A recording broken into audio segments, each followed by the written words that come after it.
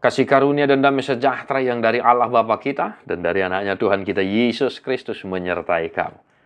Amin. Shalom Mama Inang. Selamat pagi. Wah kabar Mama Inang. Sehat-sehat mate. Di dia beho maringanan satia hita manangihon hatan itu hata bohal ni partot tiota. Tabi mardonga tang yang Tuhan Musa luhut nanahina holongan di bagasan Kristus Yesus. Hatan itu hata tu hita sadario di penghujung ini bulan 2 di tahun 2024 tahun Yesaya 55 ayat 7. Tarihon hamuma pinggol muna jala Roma hamu tuau. Tangihon hamuma asa mangodu ton dimunai. Jadi bahenok kuma tu hamu padan saliling liling. Ima padan parasian nasi tong itu sidapit na sotu pamuba. Sendengkanlah telingamu. Dan datanglah kepadaku dengarkanlah maka kamu akan hidup. Aku hendak mengikat perjanjian abadi dengan kamu menurut kasih setia yang teguh yang kujanjikan kepada Daud.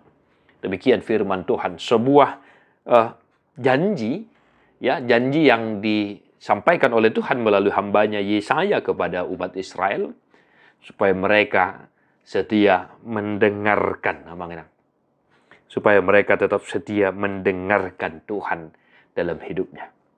Kenapa harus mendengarkan firman Tuhan? Jawabannya ada di firman itu, maka kamu akan hidup. Firman Tuhan adalah kehidupan kita. Bohal nito dita, napas kehidupan kita. Bapak Ibu Saudara-saudara, mereview perjalanan kehidupan kita dua bulan di bulan Februari ini. Mari amanginang, renungkanlah bagaimana kesetiaan kita dalam mendengarkan firman Tuhan. Bohado, adong do bolong nenete atau absen. Salpu sadari dan menangihon hatan itu hata hita. Adong do bolong atau absen salpu sadari sojolo martangnya kita mengenang. Mari ya mengenang dari hati yang paling dalam saya mengajak kita semua untuk merenungkan kasih Tuhan. Tak terasa dua bulan loh mengenang. Kita sudah menjalani tahun 2024. Baru kemarin kita merayakan Natal tahun baru. Dan sekarang kita sebentar lagi akan memasuki masa-masa eh, Jumat Agung Minggu Sengsara dan Paskah.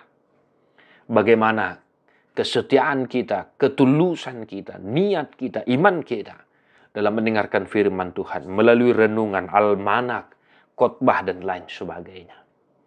Bapak Ibu Saudara sekali lagi alasan untuk tetap menyendengkan telinga kepada firman Tuhan adalah supaya kita hidup. Nah, ini juga menghantarkan kita memasuki bulan yang baru. Dengan kita mendengarkan firman Tuhan, kita me, kita melihat ya kita melihat janji Tuhan kepada kita melalui hambanya Daud. Asini roha saliling nililing na dileho debada tuna posona si Daud. Soni manang tuhita di bagasan Kristus Yesus Tuhan. Atau ngamangin.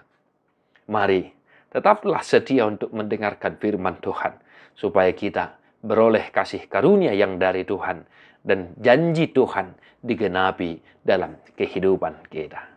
Di pasu-pasu tu hatta maha manginang sadarun mangula-ula tamar tua doa kana tu mangihun hata di dibata jala no piopsa. Amin.